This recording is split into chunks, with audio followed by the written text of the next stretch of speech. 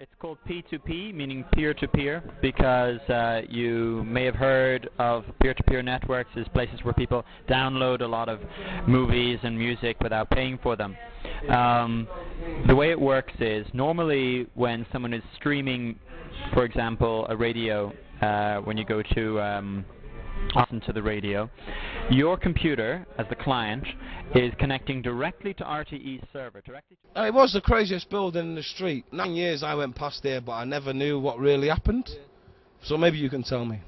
Enlighten me. Well, I'll, I'll try my best. the Seomra Spraoi Collective have just moved into this building here behind, and today there was an attempt to uh, to set up a live stream with a few different groups, with the Indymedia Group, with Seomra Spraoi, uh, and different people who are working in different areas, individuals, etc. This week in Dublin, there's been a thing called DEAF, D-E-A-F, which is the Dublin Electronic Arts Festival.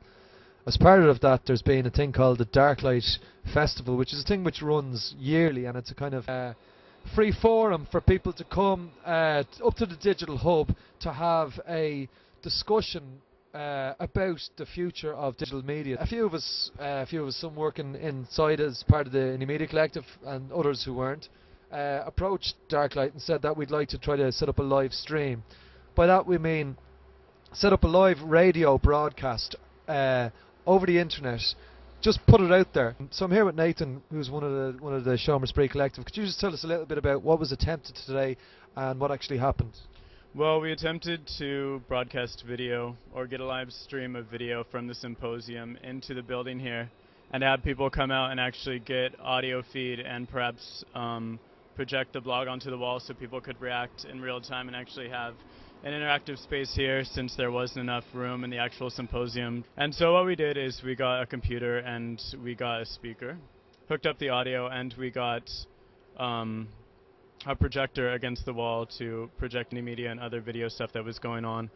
And then after the symposium audio was over at around half five, we brought the speaker outside and then um, projected audio into the streets of different interviews from Indymedia and um, other videos. And some people came inside just off the street to see what was going on inside because it was pretty clear view from off the street. And um, that's basically a summary. It was kind of like a bit of an experiment. We were pushing the boundaries. We were trying to we were trying to make something happen like with this live stream, which has never happened in terms of the Irish Indymedia Network so far. You don't have to physically be in somewhere, i.e., just over there, um, to participate in discussions that are going on over there.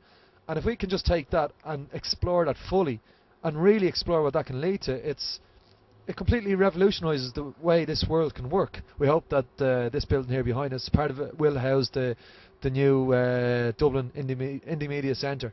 So, as part of the Seomra Spraoi, as part of the, the Dublin Social Centre. Today was an experiment and it worked, so we're going to move on and take it from there. So, thanks to all who've helped. I'll tell you something, promote it all you can, boys. Fair play, yo. Have a good time, guys. Take it easy. The future keeps changing, and I suppose this house is part of the future of how things are going to change in the art world in Dublin. I mean, it's only coming out of the cave now, so this is just an example of the future. Yo, show, let's play is rocking. Did you get that?